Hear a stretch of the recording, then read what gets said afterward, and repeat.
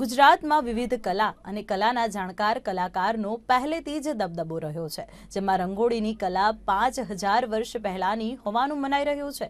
આજે પણ કેટલાક ગ્રામ્ય વિસ્તારમાં જમીન પર અને ભીત પર રંગોળીના દ્રશ્યો જોવા મળે છે. જો કે શહેરી વિસ્તારમાં આ કલા લુપ્ત થતી જતી હોવાનો વસવસો કલાપ્રેમીઓમાં છે. કઠલાલના એક યુવક ધ્રુવ વ્યાસે રંગોળીની કલાને જીવંત રાખવા માટે એક પ્રયાસ કર્યો છે. પોતે સિવિલ એન્જિનિયર હોવા છતાં ગામે ગામ જઈ જે પણ ઘરે પ્રસંગ હોય તેમને નિઃશુલ્ક રંગોળી પૂરી આપી તેમના પ્રસંગને દીપાવે છે. ત્યારે તે માટે ટ્રાન્સપોર્ટેશનનો ખર્ચો પણ તેઓ લેતા નથી. રંગોળી કરવાનું સ્ટાર્ટ કર્યું.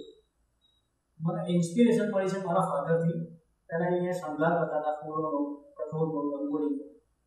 ત્યારબાદ ધીમે ધીમે મેં ચાલુ કર્યું છે. શીખ્યો નથી કોઈ જગ્યાએ, બસ ભગવાનની કૃપા છે.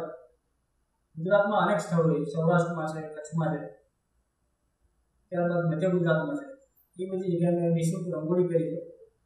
ધાર્મિક જગ્યાઓ, લગ્ન પ્રસંગોમાં તેમજ વાર તહેવારે તહેવારને અનુરૂપ એને રંગોળી કરી છે. આજ સુધી કોઈ જગ્યાએ મને વિદ્યાઓમાં સારી રીતે આવ્યો છે. એમની રીતે પુરસ્કાર આપવામાં આવે છે.